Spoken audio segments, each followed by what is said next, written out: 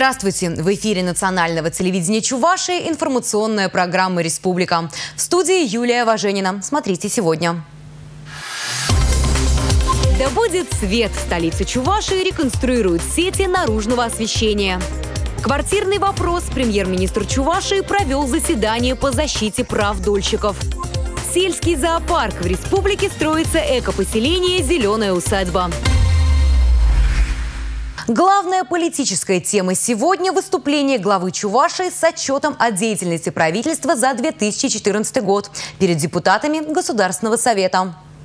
Михаил Игнатьев подчеркнул, что на экономику Чувашии повлияли и финансовый кризис, и санкции. Но, несмотря на это, в приоритете оставалось повышение качества жизни. На образование, здравоохранение, социальную политику, спорт и культуру в 2014 году направлено 32,7 миллиарда рублей что составляет 68,5% всех расходов бюджета. Михаил Игнатьев отметил, что правительство Чуваши особое внимание уделяло выполнению майских указов президента России. На обеспечение роста заработной платы направлено 3 миллиарда. Хочу подчеркнуть, Кабинет министров Чувашской республики выполнил все свои обязательства перед работниками бюджетной сферы и все утвержденные показатели по заработной плате. В результате принятых мер средняя заработная плата педагогов школ в республике к 2013 году выросла на 5,6% и составила 21 274 рубля или 102% от средней заработной платы по республике. Заработная плата врачей выросла на 6,5% и составила 30 тысяч 281 рубль. Рынок труда остается пока спокойным. Правительство приняло ряд дополнительных мер. По уровню регистрируемых безработных Чувашия занимает третье место среди субъектов ПФО. Что касается промышленности, то несмотря на сложную макроэкономическую ситуацию, в 2014 году индекс промпроизводства составил 104,5%. Неплохие результаты показали ряд предприятий Чувашии. На развитие производства выделено более миллиарда рублей. В республике сформирован план мероприятий по содействию импортозамещению на ближайшие три года. Планируется реализовать более 52 инвестиционных проектов. В ближайшее время будет открыто дополнительно более трех тысяч рабочих мест. По словам главы Чувашии, прошедший год был экономически благоприятным для сельхозтоваропроизводителей. Почти 80% сельскохозяйственных организаций закончили год с положительным балансом. Объем чистой прибыли составил 1 миллиард 600 миллионов рублей, что в два раза больше, чем было в 2013 году. В прошлом году индекс производства продукции сельского хозяйства во всех категориях хозяйств составил 102,8%. Общий объем государственной поддержки агропромышленного комплекса за счет средств федерального и республиканского бюджетов практически не изменился и составил 2 миллиарда 400 миллионов рублей.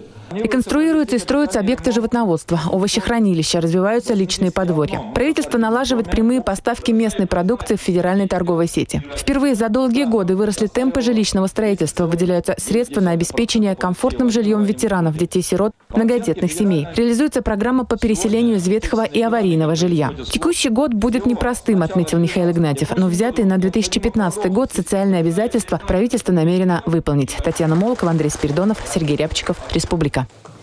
Михаил Игнатьев также отметил, что в республике снизилась младенческая смертность. Материальная поддержка многодетных семей дает свой эффект.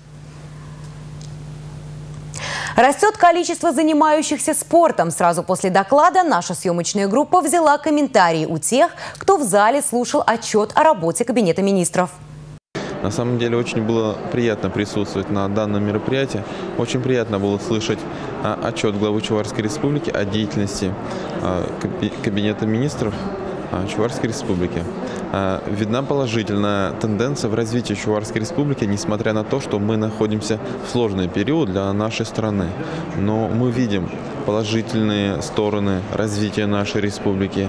И мы верим, то, что тот курс, который выбран главой Чувашской республики и той командой, он будет продолжаться, и 2015 год а, пройдет для нас только в положительных чертах.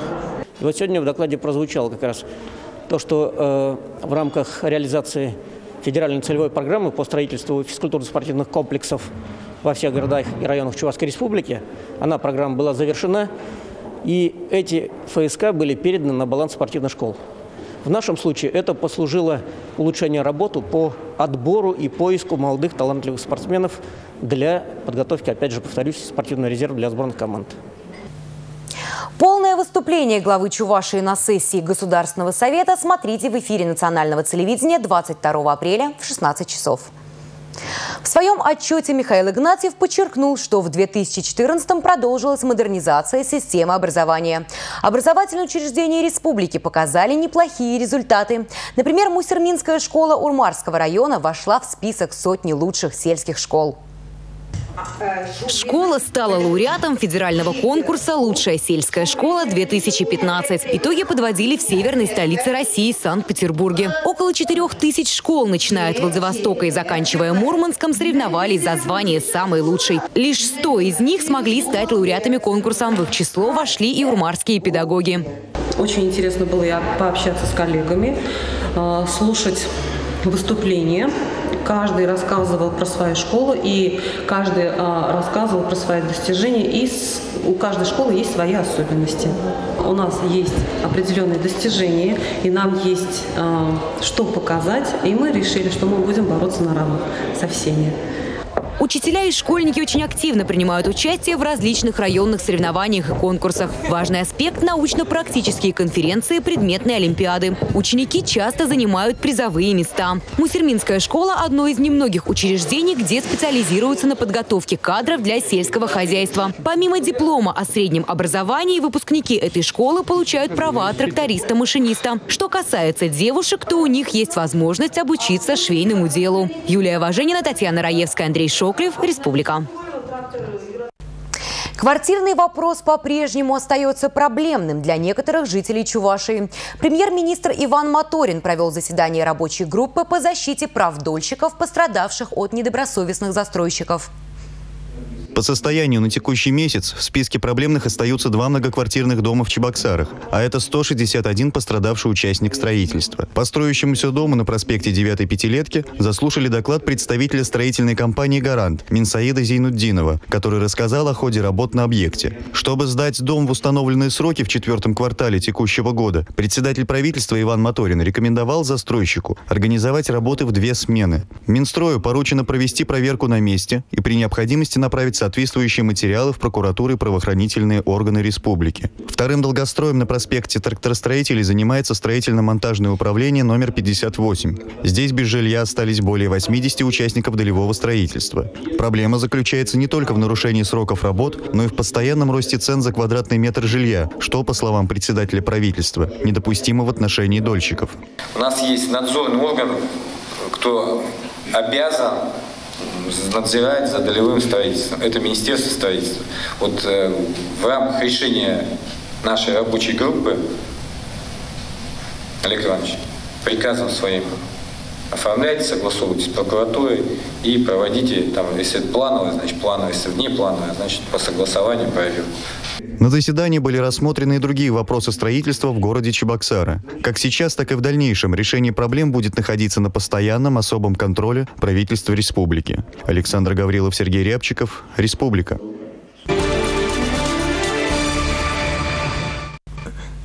Сегодня свой день рождения отмечает митрополит Чебоксарский Чувашский Варнава. В день своего 84-летия он принял поздравления от главы республики Михаила Игнатьева.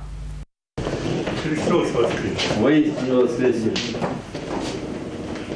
В резиденции митрополита Чебоксарского и Чувашского Варнавы глава Чуваши преподнес архипастырю букет цветов и подарочное здание «Московский Кремль», отметив, что церковь и государство пребывают в добром соработничестве друг с другом. Михаил Игнатьев рассказал митрополиту об итогах прошедшего года и заверил, что руководство республики приложит все усилия для улучшения качества жизни людей региона. В свою очередь, митрополит поблагодарил Михаила Игнатьева за поздравления и выразил надежду, что правительство республики и дальше будет нести свое служение на благо людей Чувашии. Александр Гаврилов, Сергей Рябчиков, Республика.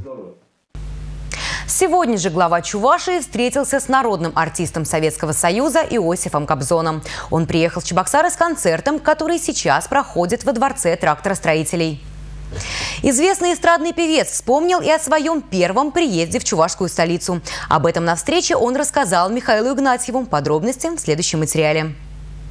Иосиф Кобзон прекрасно помнит свой первый визит в Чебоксары. Выпускник института имени Гнесиных, лауреат престижных конкурсов, приехал в столицу республики еще на заре эстрадной карьеры в 1962 году. Это был его первый гастрольный тур. Тогда народный артист объездил все великие стройки Советского Союза. Признается, что Чебоксары и в то время произвели на него большое впечатление. Сейчас, добавляет Кобзон, город развивается успешно. И это невозможно не заметить. Меня сводили на смотровую площадку, показали мне весь город, показали Волгу. С гордостью рассказывали о городе, что идет строительство. Пригласили на открытие замечательного культурного центра, культурно-спортивного 3 июня. Так что уже мне нужно фиксировать. То, что здесь происходит, это как раз тот пример, как можно и как нужно любить свое Отечество, свою Чевашу, свою Россию. Сейчас, отмечает Иосиф Кобзон, в молодежной среде необходимо популяризировать истинные культурные ценности. Для народного артиста эти вопросы выходят на первый план. В Государственной Думе он уже не первый год возглавляет Комитет по культуре.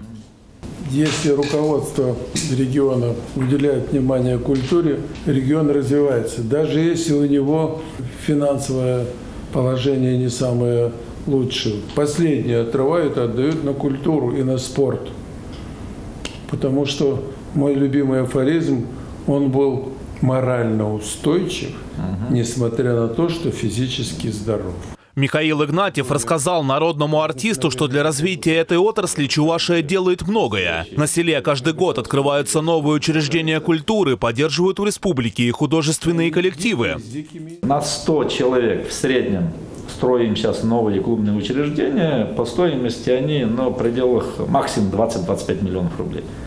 Это для села, чтобы людей оторвать от компьютера, от телевизора домашнего, чтобы люди приходили общаться. Но все зависит и от того, на каких примерах будет воспитываться молодежь. По-настоящему достойных героев в стране немало. На встрече с главой республики Иосиф Кобзон вспомнил о своем близком друге Андреяне Николаеве. Народный артист был знаком со всеми членами того самого первого отряда космонавтов. И теперь свой каждый концерт он посвящает именно им. Дмитрий Ковалев и Андрей Спиридонов. Республика. Сегодня в Чебоксарах состоялось открытие мемориальной доски в память о Михаиле Гендельмане. Человеке, благодаря которому большинство населенных пунктов Чувашии имеют работоспособные коммуникации и благоустройство.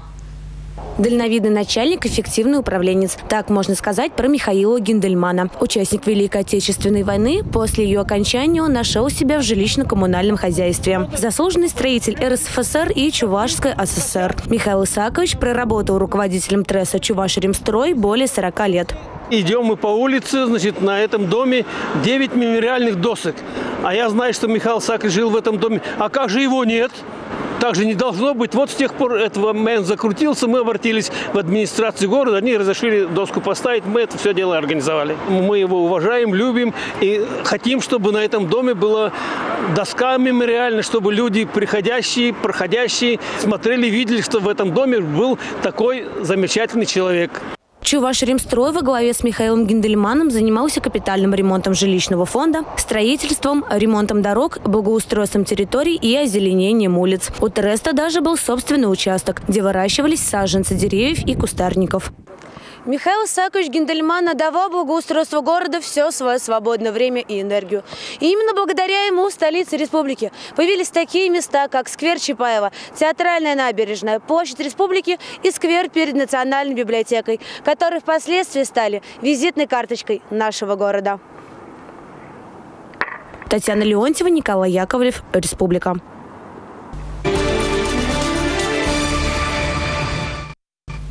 Да будет свет! В Чебоксарах продолжают строить и реконструировать сети наружного освещения. В прошлом году уличные фонари были установлены в более чем 30 городских дворах. Каковы планы на этот год, узнавал мой коллега Дмитрий Ковалев. Раньше жителям этого дома приходилось освещать свой путь до подъезда фонариками, вокруг царила кромешная темнота. Теперь их двор будут озарять две мощные лампы, бетонные опоры и фонари на улице установили в прошлом году. Раньше, конечно, темно было ходить. Тут бабушки ходят, маленькие дети ходят, дедушки ходят. Конечно, сейчас мы рады. Спасибо, сейчас светло стало. Жить хочется, верим к лучшему.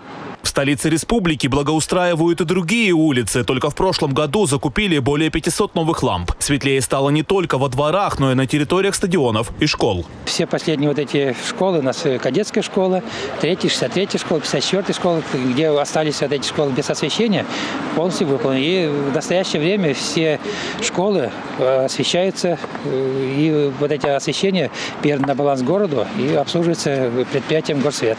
Сейчас в Чебоксарах проводят свет по самым проблемным адресам. В этот список попали и многие дворы советского периода, там, где уличных фонарей не было предусмотрено изначально. Здесь приходится устанавливать не только новые опоры, но и специальные шкафы. На шести объектах не было вообще уличного освещения, не было даже куда подключаться там никогда. Пришлось устанавливать шкафы уличного освещения, управление уличным освещением, и объекты были введены. Старые застройки, вот дома старой застройки, они почему-то сдавались без наружного освещения. И поэтому вот эти объекты администрация обо всех объектах знает, обо всех адресах, все адреса известны, и постепенно будем эти вопросы решать. Здесь очень много коммуникаций, деревья очень много. При, пришлось тут э, ветки пилить, и э, по коммуникациям очень много разбирались, потому что некуда ставить внизу, вот, очень много коммуникаций. Из-за этого вот это технически сложно было. В этом году в каждом районе города на установку уличных фонарей выделят более трех миллионов рублей. Подрядчики уже определены. Работы начнутся в ближайшее время. Дмитрий Ковалев, Александр Петров. Республика. Бизнес на селе. Для кого-то это просто слова, а для кого-то вполне реальный проект. Причем для этого вовсе не обязательно быть деревенским жителем. При желании и горожане могут добиться многого. В деревне Кадикасы Маргаушского района идет активная работа по строительству экопоселения «Зеленая усадьба». Тему продолжит Мария Шоклева.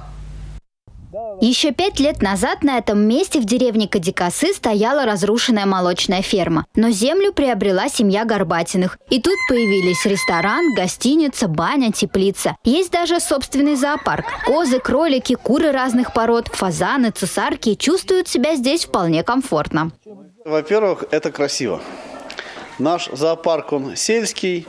В сравнении с иными зоопарками, наверное, он не такой большой, обширный и красивый, хотя в Чувашии, наверное, это единственный подобный сельский зоопарк. Зоопарк, в первую очередь, он для души. И, помимо прочего, к нам э, в наше экопоселение приезжают дети зачастую. И детям интересно познакомиться с животными. И не только городским детям, но даже деревенские дети, приходя к нам, удивляются, какие разные бывают птицы. Экскурсии по зоопарку для гостей комплекса проводит старшая дочка Михаила. Заботиться и играть с животными ей очень нравится. А это карликовые курочки, самые маленькие в нашем зоопарке. О, смотрите, яйцо снесли.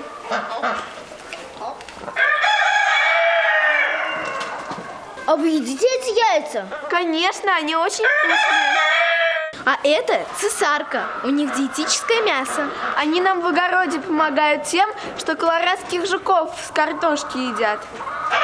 Хорошая птичка. Из козьего молока тут делают сыр. Яйца, мясо птиц и кроликов всегда нужны на кухне ресторана. Блюда, в том числе и национальные, готовит жена Михаила. Она же следит за порядком в гостинице. Пока в экопоселение приезжают друзья и знакомые Горбатиных, но все только начинается.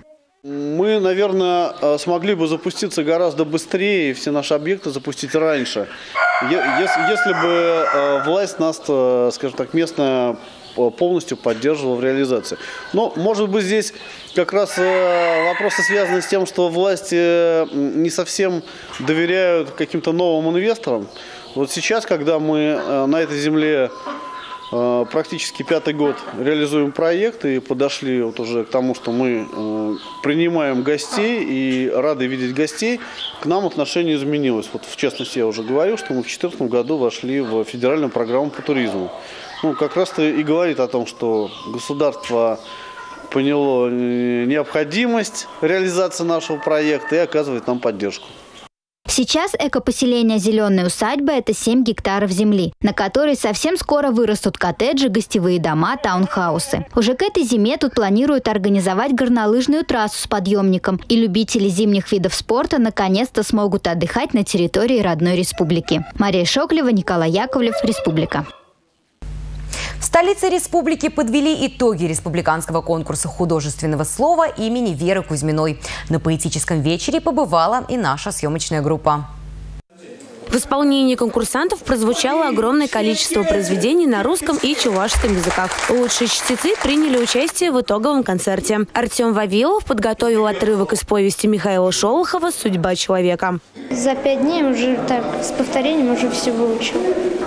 Видали вы когда-нибудь глаза, словно присыпанные пеплом, наполненные такой неизбывной смертной тоской, что в них трудно смотреть? Конкурс художественного слова состоялся впервые и собрал немало любителей литературы, чтецов, поэтов и писателей. Участников разделили на четыре возрастные категории в двух направлениях – проза и поэзия. Самые талантливые получили памятные грамоты и дипломы. Цель этого конкурса состояла э, в том, чтобы объединить этих детей, чтобы эта э, любовь к литературе у них не только зародилась, но и развивалась. Не это ли цель года литературы? То этот конкурс, конкурс художественного слова имени народной артистки СССР Веры Кузьминичны Кузьминой должен быть традиционным, ежегодным, потому что уже уже этот конкурс имеет свою значимость. Как отмечают организаторы, такие конкурсы дают возможность чтецам не только проявить свои творческие способности, но и развить их. В планах сделать этот конкурс межрегиональным, а потом и всероссийским. Татьяна Леонтьева, Регина Кубайкина, Андрей Спиридонов, Республика. Семь отличников на несколько сотен участников. Таковы первые результаты тотального диктанта в Чувашии. Акция проверки знаний русского языка стартовала по всей стране 18 апреля. В Чувашии в этом году диктант написали порядка 400 человек. Сегодня интернет-проект «На связи» опубликовал первые результаты, согласно которым 7 человек получили пятерки. Это на 5 человек больше, чем в прошлом году. Ознакомиться со своими результатами можно на сайте totaldic.ru. Для этого достаточно ввести кодовое слово, которое было указано в бланке. Также ознакомиться со своими работами можно будет в Чебоксарах 23 и 24 апреля в новом корпусе ЧГУ, а в Новочебоксарске 23 апреля в гимназии номер 6. Кстати, 24 апреля жители региона смогут проверить свои знания чувашского языка. Тотальный диктант на чувашском языке проведут на трех площадках в ЧГПУ имени Яковлева, Институте гуманитарных наук и Чебоксарском педколледже имени Никольского. Чувашском медиапространстве стартует новый проект телепрограмма «Наша республика. Главная тема». Передача необычной тем, что для ее подготовки объединились сразу три ведущих средства массовой информации. ГТРК «Чувашия», национальная телерадиокомпания «Чувашия» и газета «Советская Чувашия» премьерном выпуске речь пойдет о том, почему в республике так много внимания уделяется развитию массового спорта и физической культуры, какие технологии используются для привлечения населения к здоровому образу жизни, чего уже удалось достигнуть и каковы планы на ближайшую перспективу. В качестве основного эксперта в программе принимает участие глава Чувашии Михаил Игнатьев. Смотрите первый выпуск телепрограммы «Наша республика. Главная тема» сегодня, 21 апреля, в региональном эфире канала «Россия-24» в 19.30 20.30 и на нашем телеканале в 20.30. Таким был этот вторник глазами корреспондентов национального телевидения Чувашии. Я с вами прощаюсь. Всего доброго.